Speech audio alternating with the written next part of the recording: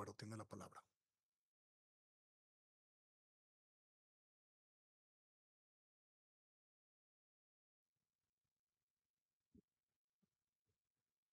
Gracias, presidente. Buenos días. Un saludo cordial al país.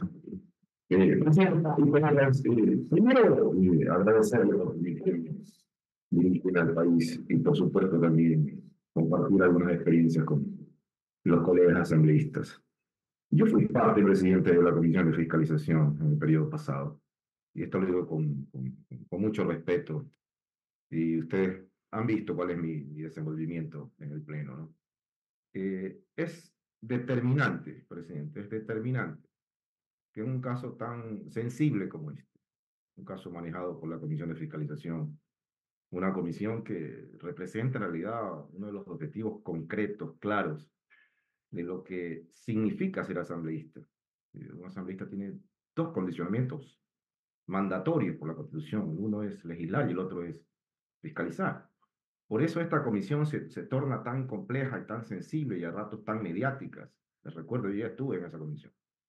No es prudente, presidente, con todo respeto, no abrir el debate en una situación tan delicada como esta, ¿sí?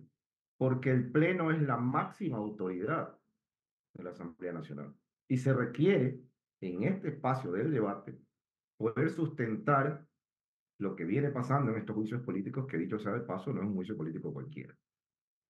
Entonces, primero, la presidenta de, de la Comisión de Fiscalización no es la ponente de, de, en, este, en este proceso. O sea, eh, negarle la posibilidad a los demás asambleístas a que nos nutramos de información enriquecidas con el debate, ¿sí? Y un poco encasillar a la presidenta de esta comisión a que ella haga una presentación superficial de, de este juicio, me parece, presidente, que no es lo más adecuado.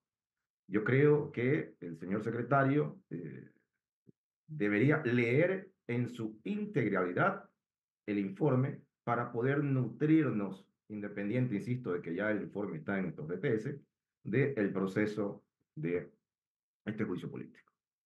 Eh, presidente, un juicio político eh, de esta naturaleza eh, tiene varias características. Nosotros eh, lo que siempre procuramos y en este periodo también se ha procurado y ha sido notorio, primero, el debido proceso, ¿sí? esta, esta, esta condición que parece a ratos solamente un enunciado, eh, debe verse reflejada en, en, en, cada acción dentro de un procedimiento como un juicio político.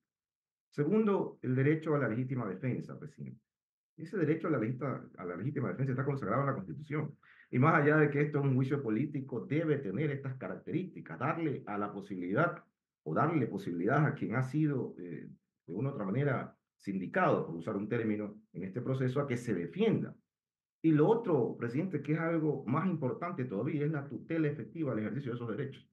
La Comisión de Fiscalización eh, de la información que tengo tuvo que asumir un rol, pedir pruebas de oficio, porque se le está negando, se le estaba negando la posibilidad al señor Terán de poder defenderse, más allá de la condición en que se encuentra. O sea, una persona que ha perdido eventualmente eh, su, su, su, derecho a la libertad o está en alguna situación delicada, no se le puede negar el derecho a la defensa, presidente. Entonces, eso puede un poco acarrear una serie de, de problemas jurídicos, inclusive en cualquier otro proceso. Bajo ese, bajo ese criterio, presidente, eh, decir también eh, que cualquier eh, informe de cualquier comisión no es vinculante para el Pleno. O sea, ya asambleístas anteriores han tenido relativamente el mismo problema y se consideró que eh, definitivamente el Pleno, como máxima autoridad de la Asamblea Nacional, tiene que conocer los informes sin ningún tipo de vinculación y que en el Pleno se decida, ¿verdad?, en función de la mayoría, de la voluntad de la mayoría, cuál es el camino a seguir de determinado proceso. Presidente, quiero eh, reflexionar sobre un punto eh, interesante que ha generado conmoción en estos últimos días en el país. ¿Sí? Nosotros hemos visto varios casos de, de, de conmoción política, ¿no? mediática, metástasis, purga, plaga.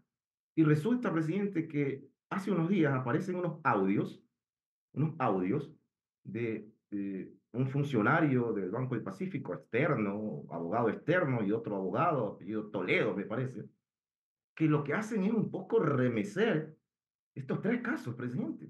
Por eso es importante eh, el derecho a la defensa y, por supuesto, la tutela efectiva de ese ejercicio de ese derecho. En base a eso, presidente, y con la venia, con su venia, yo quiero, presidente, que con su autorización se reproduzcan unos videos que le he entregado oportunamente al señor secretario.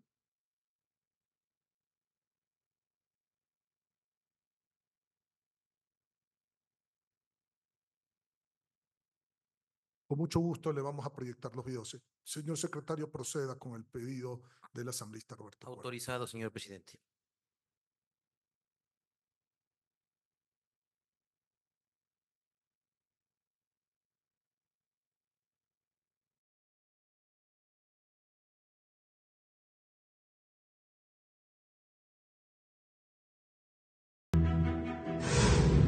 Foja 36 de 205.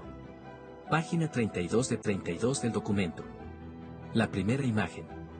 Otro tema, la cónyuge del juez corrupto, está con buen puntaje para llegar a la CN. Está concursando. Mónica Bravo se llama. La pericia es verdadera. Este documento fue trata- extraído mediante una pericia, un informe técnico pericial de informática forense de mi dispositivo celular. Tuve que aplicarlo de manera personal porque si mi dispositivo estaría en fiscalía, no existiría esta prueba para conocimiento público. ¿Por qué la fiscal Diana Salazar intercedía en la selección de jueces de la Corte Nacional?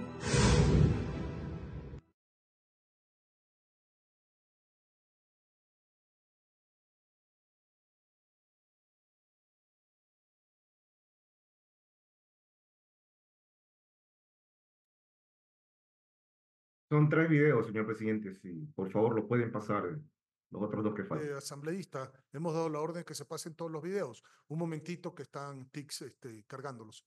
Gracias, señor presidente. Presidente.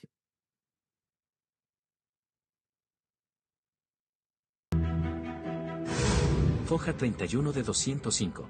Me piden como acto urgente allanar CJ. Domicilios y extraer dispositivos. Ya. ¿Y ahora qué pasó? ¿Dices que vienes contra mí? Obstrucción a la justicia. El reportaje de FY es lapidario, según me cuentan. No lo he visto. Con eso nos vamos. ¿Entonces sancionar un acto disciplinario es obstrucción a la justicia? La fiscal violó el principio de reserva, no podía alertar de allanamientos como lo hizo. Tampoco puede alertar sobre investigaciones previas que también están bajo reserva. Sí, la señora fiscal me dijo, va a haber allanamiento esta noche, va a haber allanamiento, me lo dicen en los chats. Ella es la que delata su propio proceder, ella es la que ah, se autogenera su propia fuga de información y su propia obstrucción. ¿Por qué le tienen miedo a los chats? Ella tiene el medio para hacerlo. Marca el número que me tenía registrado.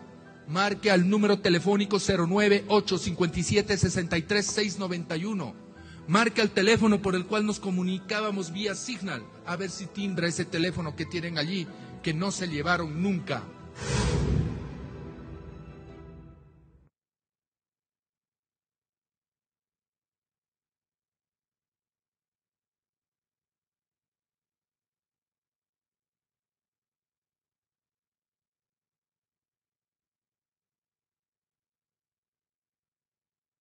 Como opera la justicia en el Ecuador, los chats de Wilman Terán lo detallan muy bien, y donde el tráfico de influencias es la constante.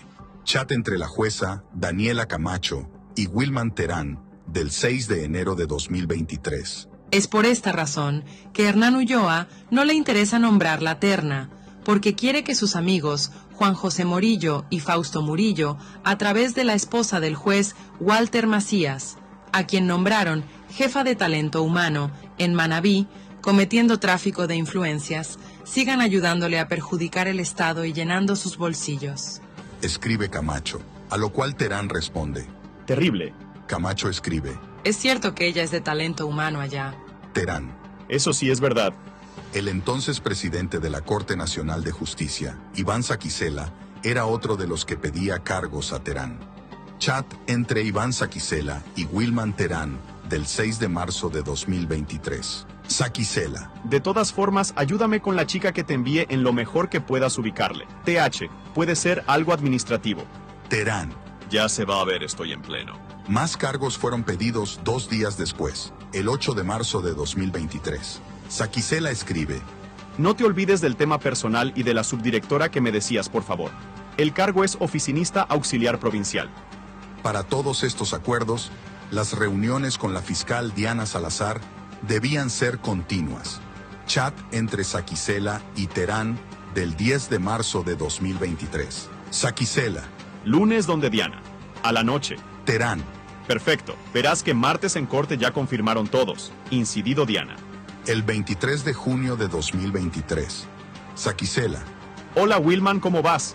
Dice Diana a ver si nos reunimos lunes. Podría ser temprano una media horita. Terán, Pero será posible 7.30 am. Estoy con una terrible agenda el lunes. Saquicela. Hagamos así. Donde propones, ¿crees en la corte mando a ver desayuno?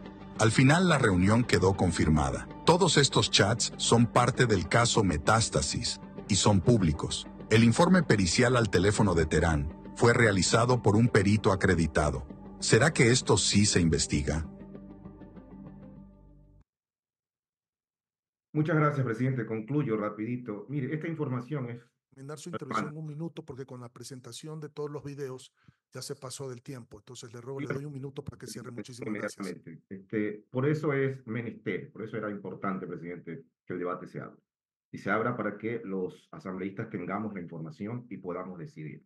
Presidente, eh, yo creo que a lo largo de mi gestión he demostrado ser una persona ecuánime, coherente. Sí, por lo general no busco incendiar, no es mi estilo. Pero creo, presidente, que definitivamente esta información debe ser conocida por los asambleístas. ¿Para qué? Para que puedan tener elementos de juicio y poder decidir. Muchas gracias por la apertura, señor presidente.